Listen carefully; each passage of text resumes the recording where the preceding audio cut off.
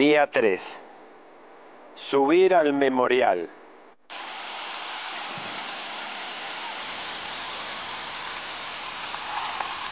Miguel, ¿y ahora a dónde vamos? Ahora estamos yendo hasta el memorial. Se nota claro que estamos, que estamos ascendiendo. Eh, esta es la zona donde quedó el avión. Allá arriba, esa pequeña torre que se ve ahora, son tres torres inmensas de más de 40 metros de altura, ¿no? Ahí golpeó el avión. Ahí pega el avión, ahí choca cuando viene de aquel lado. Llegamos, llegamos, Miguel. 10 del 2 de 1948, 29 del 10, 1972. Papá, vives en nuestro pensamiento. Mamá, tía, familia y esposa. Ana, tu nieta Camila y tu hijo Alejandro. Es, es un cementerio. Sí, esto, esto es del tren. Esto del tren. Mira este. Y es un motor. Es un motor. ¿Cuánto caminaste hoy en la montaña? Salimos 5 de la mañana ¿Del, del, del Barroso? del, del Barroso del campamento y llegamos acá, no sé si habrán sido las 3 de la tarde. Acá hay gente que nos enseña. Los muertos y los vivos.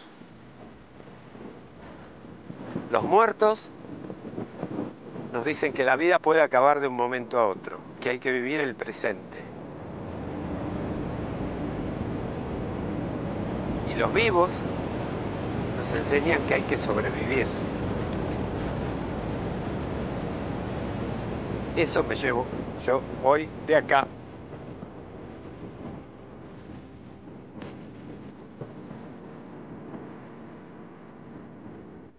Fue uno de los rugbyers uruguayos.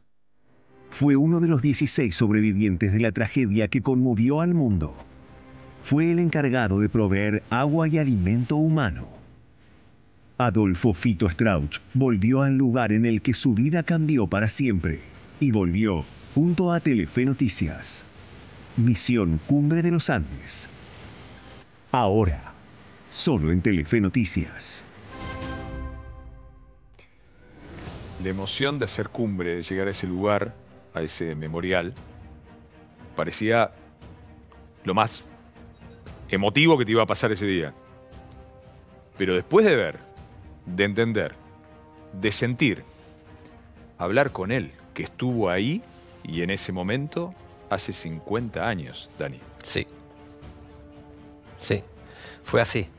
Cuando volvimos ese día del memorial, que fue el apogeo de todo esto, Rodi, estábamos por acostarnos a dormir. Yo ya estaba con la bolsa de dormir y de golpe, bueno, Matías también, eh, el lituano también se estaba por acostar y viene en ese momento Emiliano y dice, mirá, del otro lado del río, ese se llama el río Barroso, que es muy, muy correntoso, muy, es, muy fuerte la, la corriente de agua, Rodi, nos dice, en el otro refugio está Adolfo Fito Strauss. Nos levantamos todos, cómo cruzar, los caballos estaban desencillados, Emiliano convence a un arriero, noche cerrada, noche cerrada, ensillan los caballos y salimos. Un río que no se puede cruzar ni de noche ni de día a pie.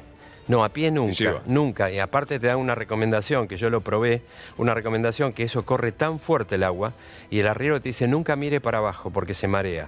Efectivamente, yo miré un segundo, me agarré fuerte, miré un segundo y me mareaba. Miré un segundo más, dos segundos y realmente te mareás. Tenés que seguir la instrucción del arriero.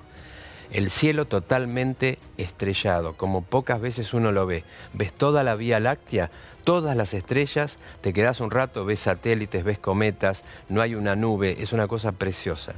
Sentir los caballos en el agua, cruzar, seguir al arriero, uno atrás del otro, hasta un refugio que estaba del otro lado del río Barroso. Una aventura. El ruido de los caballos, llegamos ahí, nos presentamos, estaban en rueda Strauch, es decir, Fito Strauch, familiares, amigos, un médico que le daba cobertura, porque al día siguiente él iba a ir al memorial. Claro. Y eh, me presento y hacemos la nota, una cosa extraordinaria. Un sobreviviente ahí, donde todo pasó 50 años después con los ojos del Doc.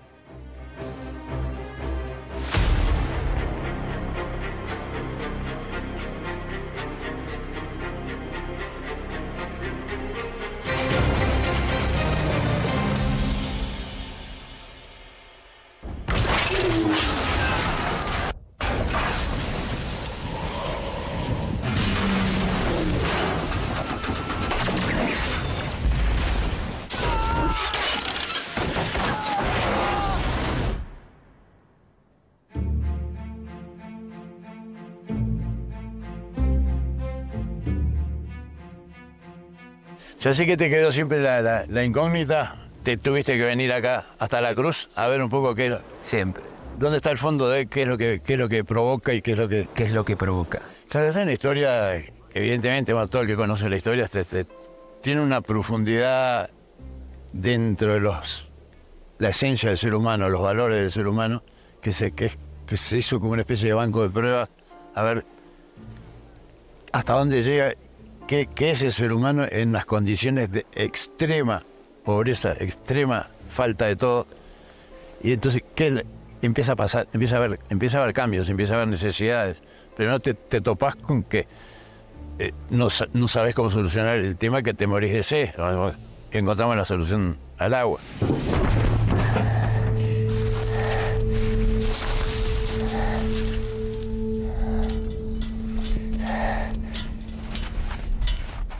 El frío, armamos el fuselaje con, con los almohadones, armamos todo el coso, con los, de- sacamos todos los forros de los, de los cosos, de los este, sillones y, y armamos una casa bastante aceptable que, que se, se puede empezar a explicar cómo pudimos sobrevivir a, a 20 grados bajo cero.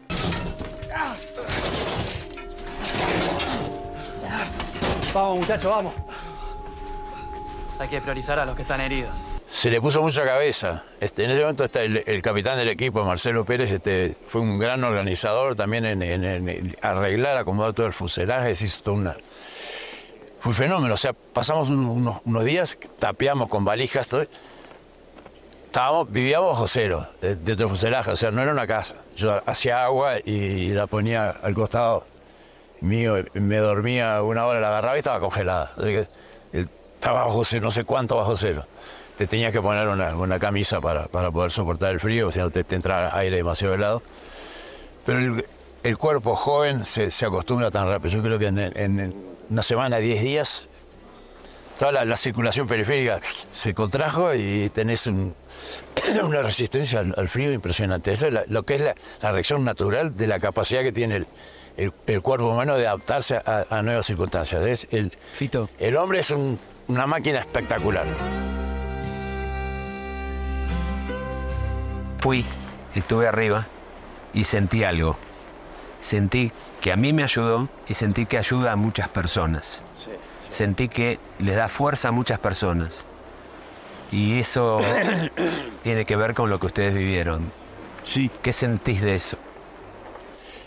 Yo tengo que eso, en mi experiencia personal, este, o sea, me, me enteré hasta dónde podía llegar yo en, en- ayudar a solucionar y en, la, la- interesa de, no, entregarse. o sea, personalmente me, me- valoricé más, digo, pucha, la verdad que no, sabía que podía haber colaborado tanto en, esta historia. Pero para los que lo ven de afuera, este, la historia es, es- es brutal en el sentido de cómo un- una pequeña sociedad logra unirse, amalgamarse y hacer un equipo perfecto. Adolfo Strauch. Adolfo Strauch.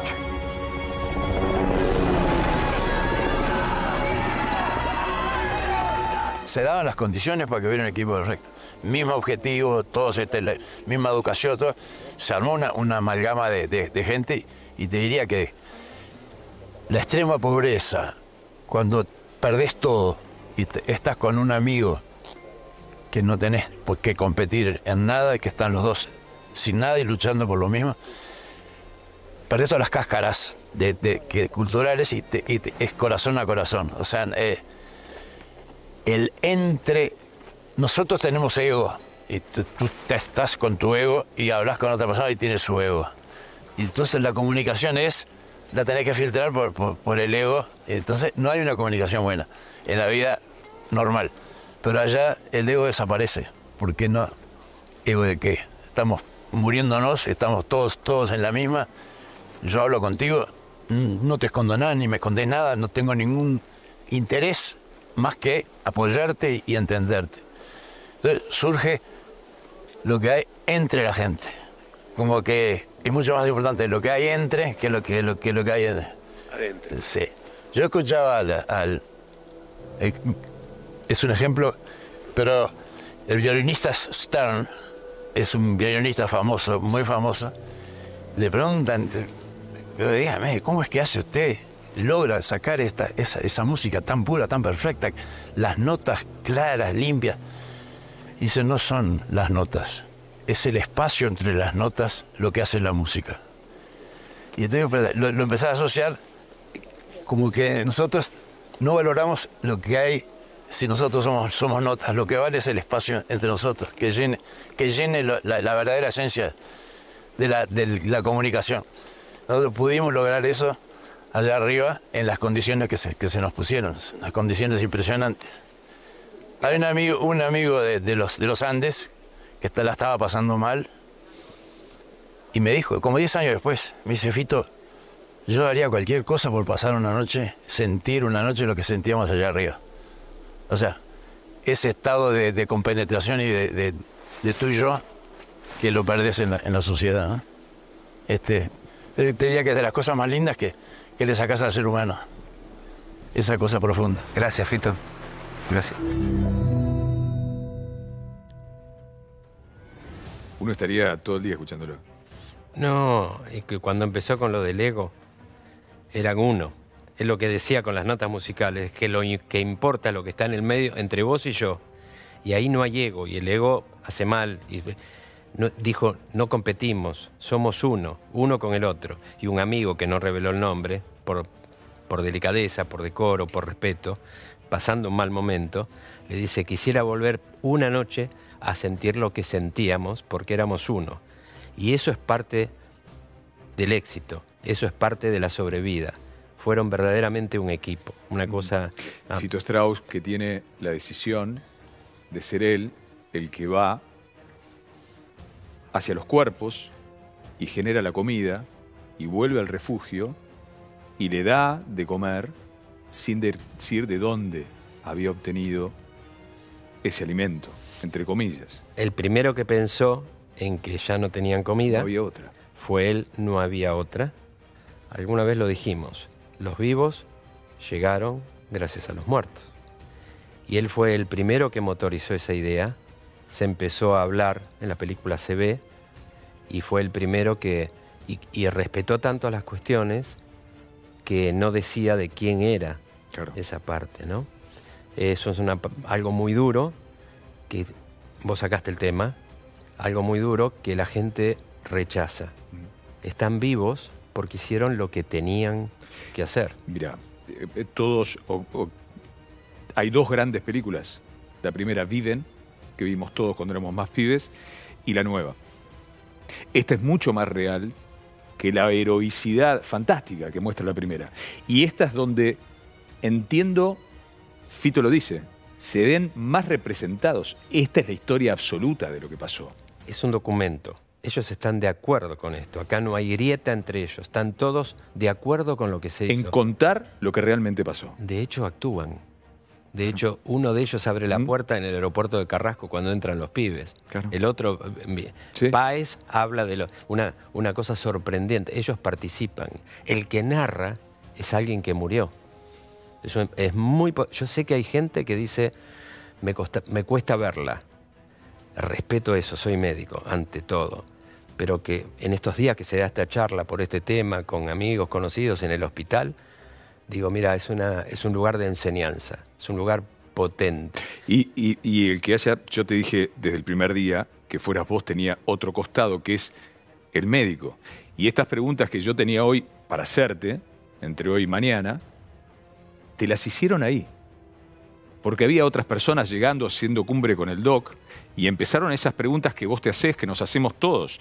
Algunas que se responden desde la experiencia médica. Vamos a escucharlas. Vamos. Y después seguimos con algunas otras más que nos quedan. El doc haciendo cumbre y esas preguntas y esas respuestas.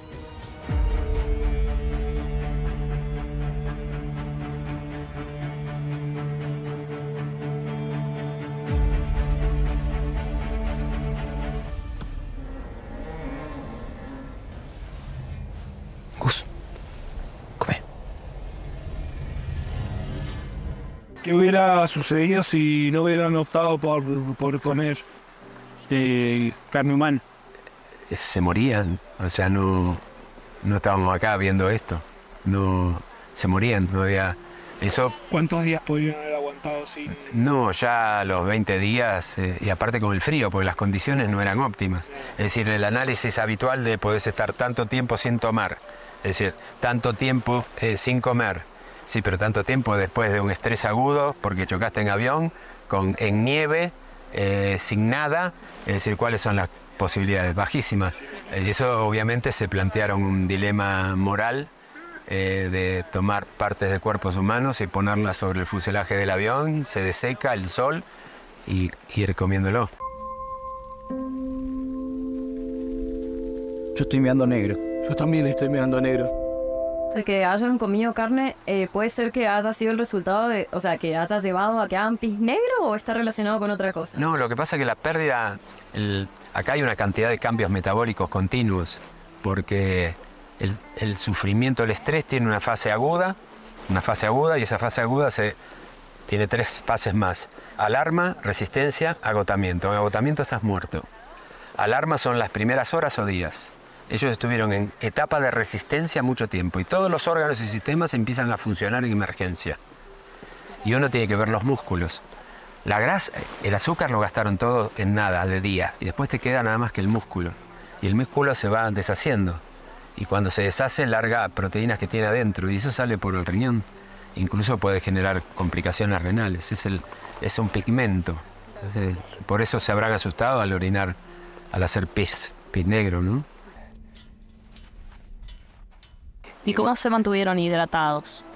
Y viste que siempre dicen que sí, tomar, se dice, bueno, tomar agua de la nieve no hidrata. Sí, eh, seguramente las sales que pones agua destilada, es el agua que compras en la estación de servicio para las, para las baterías. Es agua de lluvia, el agua de lluvia viene sin sal y vos necesitas sales. Las sales vendrían con la comida de los cuerpos.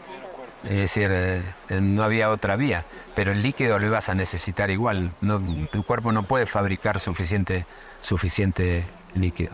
Dale. Toma. Buscate la ropa, lo que encuentres. Coco. Toma esto. Es más grande. ¿Cuántos van a morir esta noche? No se va a morir nadie, Carlitos. A mí la parte que más me genera intriga es la psicología, el estrés de no saber dónde están, el amigo que se te muere, dónde estamos, cuando salimos de acá, cómo afecta esa psicología en, el ánimo y en el día a día y, y en el poder o no vivir. La vida se abre camino. Eh, es increíble. Viste, te encontrás con tantas cosas, de gente que le pasaron determinadas cosas que vos decís, ¿cómo superó eso? Y se supera cuando se llega, algunos, no todos. Eh, pero el estímulo de sobrevivencia es lo primero que busca el hombre. Acá creo que jugaron varias cosas también, ¿no? El espíritu de cuerpo creo que se sumó psicológicamente. Eh, la fe, eh, y no digo que exista Dios, ni digo que no exista. Digo, pero la fe es una esperanza y es una función biológica del ser humano. Toda la humanidad ha tenido fe siempre.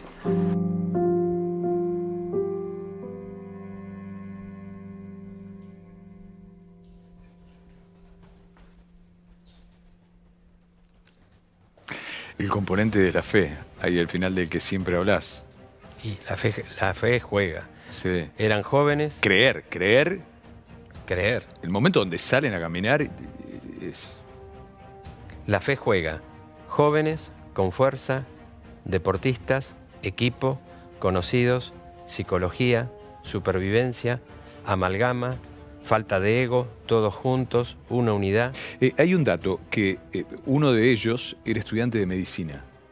Sí. ¿Por qué es tan importante ese dato? Bueno, para mí porque me identifiqué. Y me identifiqué por lo siguiente, que creo que hay una historia ahí que hay que destacar. Es Roberto Canesa, estudiante durante su segundo año de medicina.